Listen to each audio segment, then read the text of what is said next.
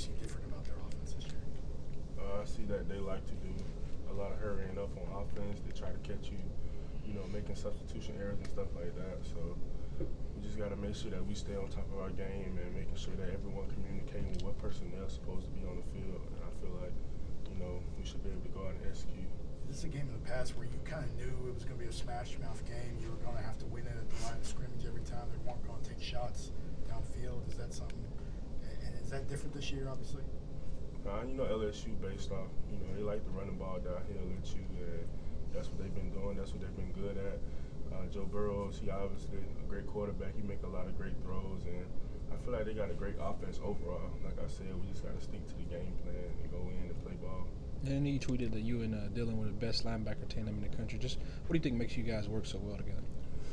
I feel like with him being young and me kind of being older, and with me being able to experience, you know, playing behind Reuben and Shaun Dion, you know, it's a lot of stuff that I can, you know, tell him, and it's a lot of stuff that like we can work on together. So I feel like it's just like we got a connection to where I feel like if I'm slacking at something, he gonna pick me up. If he's slacking, I'm gonna pick him up. And I feel like I feel like we we the best in the country.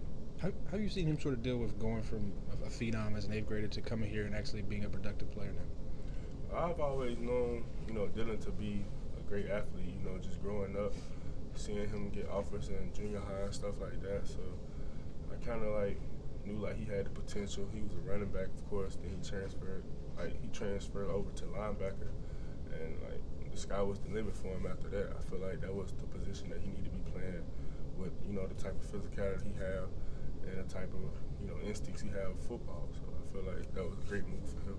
He seems like very a supremely intelligent guy, you know, especially on the field. And, and you know, were, were, you surprised how quickly he kind of picked things up, you know, here and, and was able to translate on the field?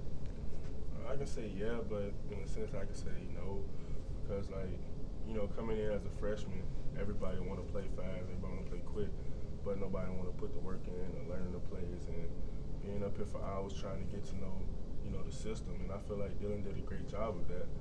But he also knew that he was the next guy up.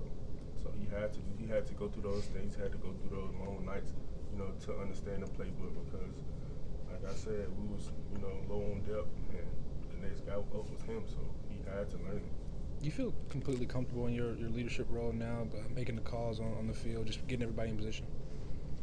Uh, yeah, I mean, I've always felt comfortable. You know, there's probably been some things where teams came out in you know crazy formations, and I was kind of like cautious of what check I should make or something like that. So I try to make sure we all on the same page and that we you know execute the play that I do call. Uh, you, you, mentioned before uh, communication, you know, that Missouri game and things like that.